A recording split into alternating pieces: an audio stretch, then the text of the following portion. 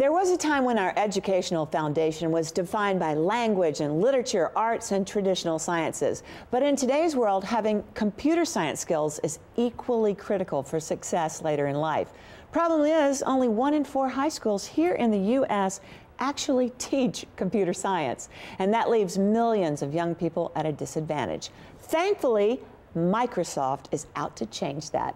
Yvonne Thomas is the Director of Global Programs for Microsoft Philanthropies and leads YouthSpark. I want to welcome you to the show. It's so great to have you here. Thanks for having me. So, why is it so important for young people to have computer science skills in today's world? Well, as we know, most young people today are digital natives, which yeah. means they know how to use technology.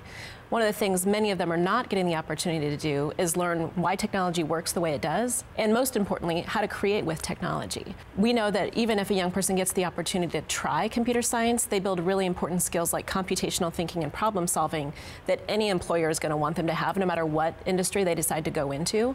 And then if they do choose that computer science is something that they want to pursue, there's lots of opportunities out there for them. There's about 1.2 million expected job openings by really? 2020 in computing but only about 40% of American graduates will be able to fill those jobs. So there's going to be a huge demand. Well, when Microsoft looked at um, access to computer science technology, who was underserved and why? What we saw was that even though women um, are represented about 56% of professional careers, professional occupations in the US, they represent only about 26% of computing occupations. Wow. And as you start to look at women of color, those numbers are even smaller, mm. almost always in single digits in the computing industry. This isn't just an American reality. It's it's a worldwide reality, correct? That is correct. Depending on the country, some of the pieces vary, but women are underrepresented across the industry. Tell us about YouthSpark and how this all came about. YouthSpark was created in 2012, and we looked at what we could do as a technology company to make sure that young people around the world were getting access to the skills that we know are most important. And the last year, we've really focused that on computer science education. Not only we want all kids to get that opportunity to really learn some of those skills, learn how technology works, we want them to get some of the really important skills that come by learning computer science, things like computational thinking, problem solving. And then if young people decide that they wanted to pursue computer science as a career, that's great, but that isn't, that isn't sort of our only goal. We want to make sure that this becomes as, um, as broad as something like biology. So what kinds of opportunities and programs does YouthSpark offer here in the U.S. and internationally? We do a number of things through YouthSpark. Some of them we run on our own. There's a program called TEALS, where we bring technology industry um, experts into classrooms and they team teach computer science around cool. the U.S. Yeah. We partner with with leading nonprofit organizations like Boys and Girls Clubs, City Year, Year Up, Code.org, and Girls Who Code, who work in local communities to bring computer science education to, to students in school and out of school.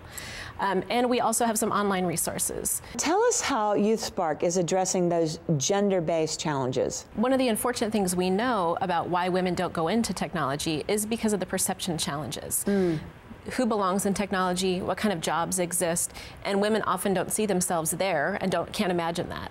So one of the things that we've done and we're most excited about is a program that was started by a Microsoft employee. It's called DigiGirls. She's very cool, DigiGirls. she started it as a volunteer activity during Women's History Month, and it's grown um, and is now a program that the company runs to help girls get excited about what careers could look like. They're hosted at Microsoft offices, so we bring in girls to Microsoft offices, and they spend a day with women at Microsoft Microsoft, understanding what their jobs look like, who they are, and what it could be like to work in a technology company. And I know our viewers, and especially their daughters, and my daughters would love to get a feel for what it's like to be part of YouthSpark's initiative for girls. So let's do that right now. Check this out. We're here today at a Microsoft YouthSpark event that I actually started out at a few years ago. I wanted to come back today because I felt it was important to pay it forward and get involved with the next generation of coders and future technologists. Coding's meant a lot to me. It means that I get to take an idea and I get to really work it out and solve a problem. Technology can change the world because it's not just making phones and applications. It's about solving global warming. It's about solving the gas fuel problems, battery problems, problems that can save the world in the future. Coding is imagination. Coding changes lives. Coding is the future. I want to know, is there a way to assess the success of the program uh, and its global impact yet? One of the things that we have accomplished is in the last three years worked with nonprofit organizations in more than 100 countries. Wow. And helped more than 300 million young people find opportunities for employment, education, and entrepreneurship. It was so great to have you here. Thank you so much for having Thank me. Thank you so much. And now, if you're a teacher, a student, a young person who wants to get involved in computer science, just head straight to Microsoft.com slash YouthSparkHub, and you can also find YouthSpark events at your local Microsoft store, or simply log on to thebalancingact.com so you can be the change.